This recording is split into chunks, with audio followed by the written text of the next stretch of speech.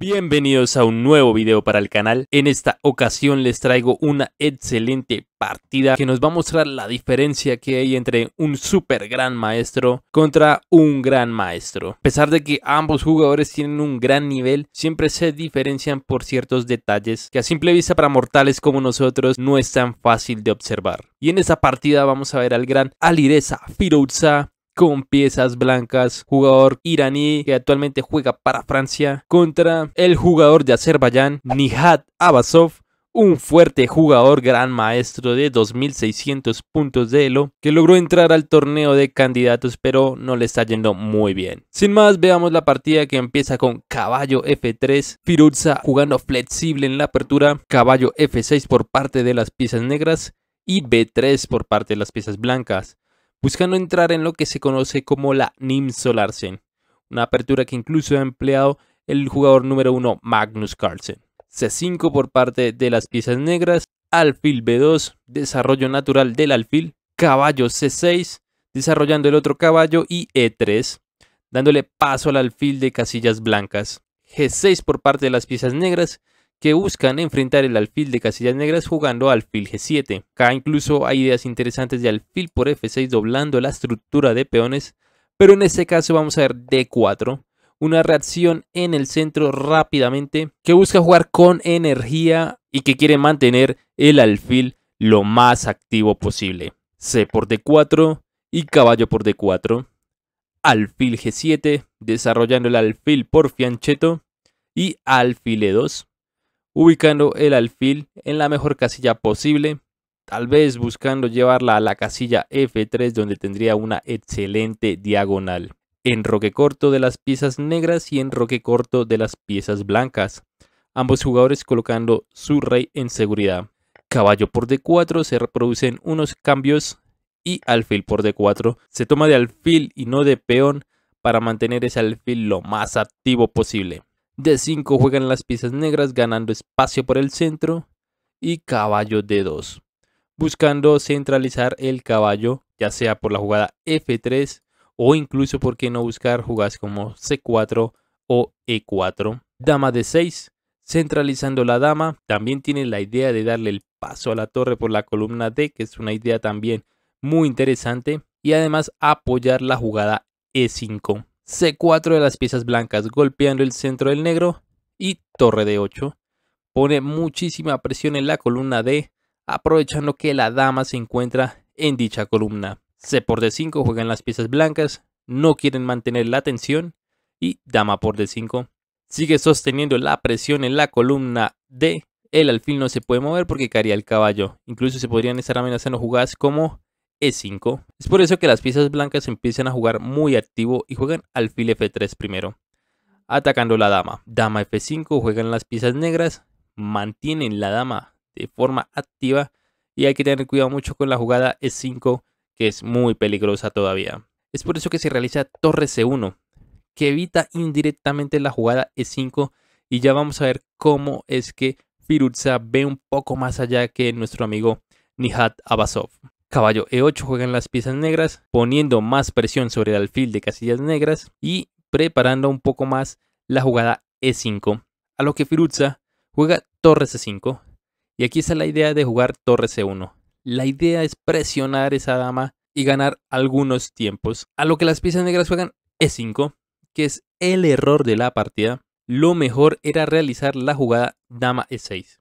Es cierto que dama e6 es fea porque no permite el desarrollo del alfil de casillas blancas de forma natural y también estorba en la posición para realizar jugadas como e5. En esta posición vendría alfil por g7 y después de caballo por g7 hay presión en la columna D y dama c1. La posición de ambos es muy sana y totalmente jugable y era la mejor línea que tenía nuestro jugador de Azerbaiyán. Pero realizó e5 y rápidamente Firuza juega caballo C4. Buena jugada porque presiona el peón de E5.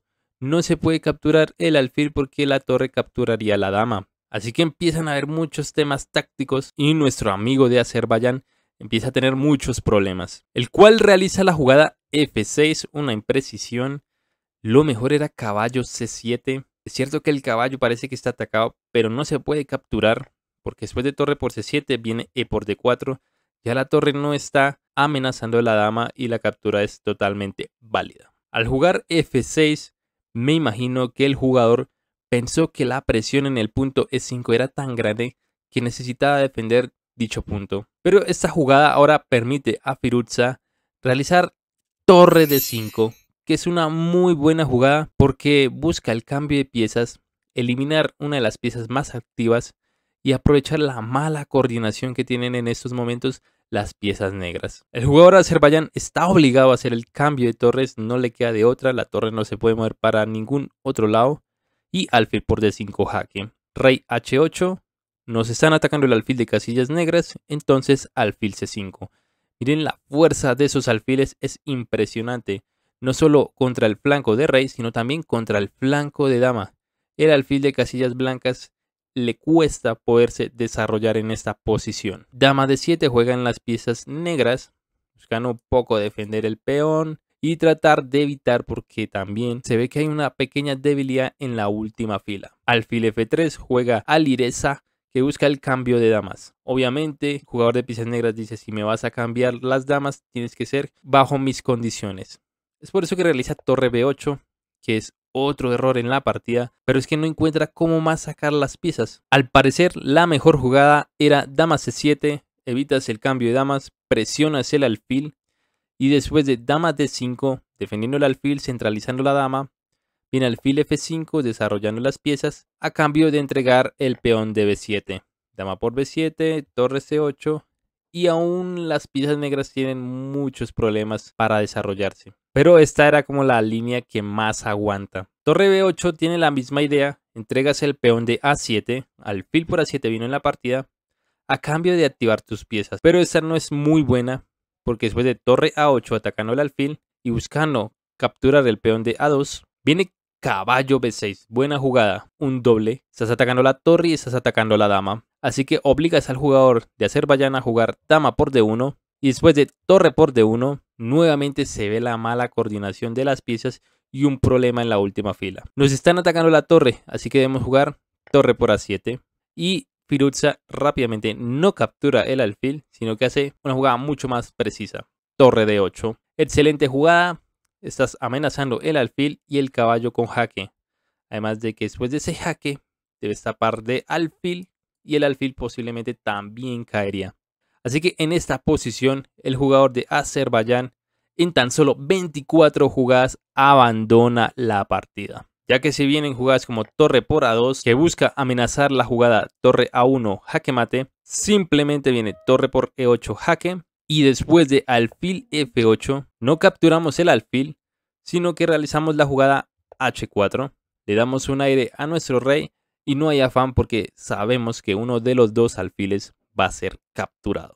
Impresionante partida que se acaba de meter Alireza Firuzza contra el gran jugador de Azerbaiyán. La verdad, Firuzza hizo ver esa partida demasiado fácil Prácticamente dos errores y una imprecisión cometió nuestro jugador y eso fue suficiente para que Firuza se diera cuenta de todos los detalles tácticos. A pesar de todo esto, ambos jugadores están últimos en la tabla, no logran recuperarse del todo y la verdad ya quedan solamente como tres rondas para definir al campeón. Y Nepo se está adelantando demasiado en la tabla. Aunque jugadores como Nakamura y Gukesh están ahí detrás al acecho para lograr al menos asustar un poco al jugador Nepo. Díganme en los comentarios qué les pareció la partida. Nuevamente, cuál es su jugador favorito para llevarse el torneo. Y sin más, si les ha gustado mucho la partida tanto como a mí, no olviden darle like, de suscribirse y nos vemos en el próximo video. Hasta luego.